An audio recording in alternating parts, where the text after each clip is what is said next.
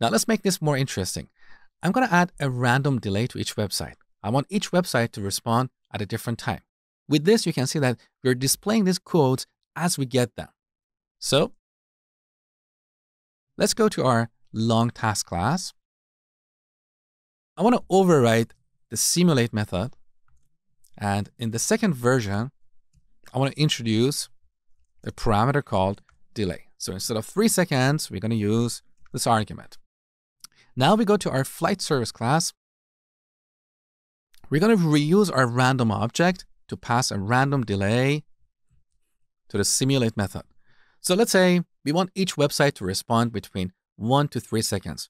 We have a baseline of one second plus random that next int two second. Now let's run a program and see what happens. So we're querying this concurrently and we're getting responses in different times. Beautiful. Now the last part. We want to print a final message to say how long it took to query all these websites. That is pretty easy. So we go to our demo class. After we get the quotes, we collect them in a list. Let's store the result over here. This is going to give us a list of future objects. Let me show you. So list of completable future of void. Now we can use the all of method to wait for the completion of all these future objects. So completable future dot all of. Now here we have a var args parameter. Technically, this is a syntactic sugar over arrays, so we can pass an array of completable future objects. That is pretty easy. We call futures the to array. Now this method is overloaded. The version without parameters returns an object array. Let me show you. I'm going to put this on a new line. Take a look. So the version without a parameter returns an object array. We don't want this because the all of method expects an array of completable future objects. Okay?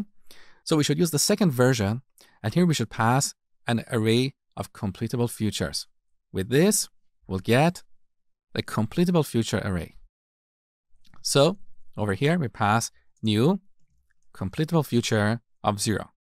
So we pass an empty array, and with this, we're telling this method that we want the result to be a completable future array, okay? Now we wait for all the result. Let me put this on a new line. Pay attention to how I'm formatting this code. So we have completable future. We wait for all these futures to complete. Then we're going to run this piece of code. This is where we're going to print our final message. First, we need to calculate how long it took to execute this operation. So just before we start, we're going to get the current time. We can use the local time class. This class has a static method called now. So this returns the current time. Now, over here, we're going to repeat this. So we calculate the end time, local time.now. Then we create a duration object. So this duration class has a static method called between. We can pass the start and end time and get a duration object. And finally, we print a message like retrieve all quotes in, here we call duration dot toMillis. This will return the duration in milliseconds. And finally, we add msec. Okay, let's run the program and see the result.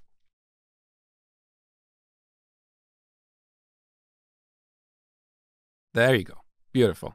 So that brings us to the end of this course.